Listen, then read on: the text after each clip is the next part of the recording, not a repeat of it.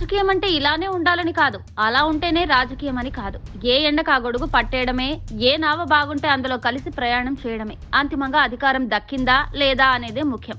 త్వరలో ఏపీలో ఎన్నికలు జరగబోతున్నాయి కాబట్టి రాజకీయ సమీకరణాలు క్రమక్రమంగా మారిపోతున్నాయి. కొత్త కొత్త పొత్తులకు బీజాలు పడుతున్నాయి.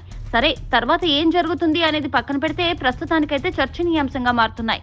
ఏపీలో తెలుగుదేశం జనసేన బీజేపీ కలిసి రెండు వేల పద్నాలుగులో పోటీ చేసి విజయం సాధించాయి. ఆ తర్వాత చంద్రబాబు నాయుడు తనకు అలవాటైన అవసరార్థ రాజకీయాలకు తెరలేపారు. ఫలితంగా జనసేన అధ్యక్షుడు పవన్ కళ్యాణ్ బయటకొచ్చారు. ఆ తర్వాత బీజేపీ నాయకులు కూడా తెగదెంపులు చేసుకున్నారు.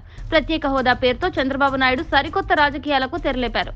అయితే అప్పటికే జగన్మోహన్ రెడ్డి క్షేత్రస్థాయిలో బలం పెంచుకోవడంతో టీడీపీకి ఓటమి అనివార్యమైంది.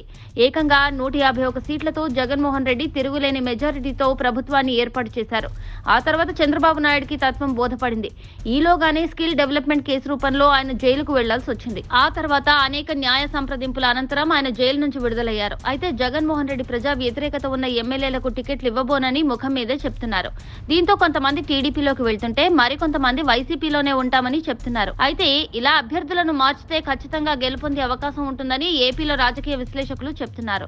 అదే జరిగితే టీడీపీకి కష్టం కాబట్టి తన రాజకీయ ఉనికిని కాపాడుకోవాలంటే ఖచ్చితంగా ఈసారి ఎన్నికల్లో గెలవాలి కాబట్టి సరికొత్త రాజకీయ చతురతకు చంద్రబాబు నాయుడు పదును పెడుతున్నారు. తెలంగాణలో కాంగ్రెస్ పార్టీ గెలిచిన నేపథ్యంలో ఆ ప్రభావం ఏపీపై కూడా ఉంటుందని భావించి కాంగ్రెస్ పార్టీ నాయకులతో కలిసి ప్రయాణం చేసేందుకు చంద్రబాబు నాయుడు తెర వెనుక ప్రయత్నాలు చేస్తున్నట్లు తెలుస్తోంది.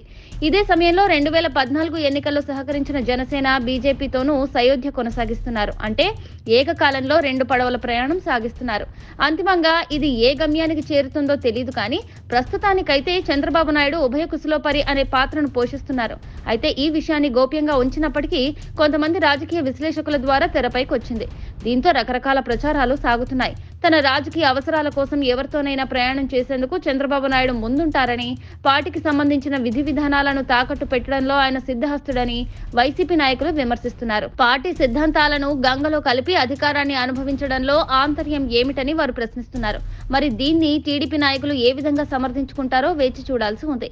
టీడీపీకి డప్పు కొట్టే మీడియా మాత్రం చంద్రబాబు నాయుడు రెండు పడవల ప్రయాణాన్ని చారిత్రాత్మక అవసరంగా పేర్కొనడం విశేషం. లేదా ఆంధ్రప్రదేశ్లో ఒకవేళ కాంగ్రెస్ పార్టీ తెలుగుదేశం జనసేనలు కలిసి పోటీ చేస్తే ఆ పాసిబిలిటీని ప్రాబబిలిటీని కూడా మనం కొట్టిపారలేము అంటే ఇప్పటి వరకు తెలుగుదేశం బీజేపీతో కలవాలని చూస్తుంది.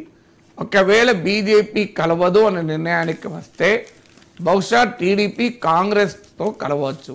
నాకున్న సమాచారం ప్రకారం చంద్రబాబు నాయుడు ఏకకాలంలో బీజేపీతో సంప్రదింపులు జరుపుతున్నాడు. కాంగ్రెస్తో కూడా సంప్రదింపులు జరుపుతున్నారన్న సమాచారం. Subscribe to Social TV Telugu for more videos. Hit the bell icon for faster updates.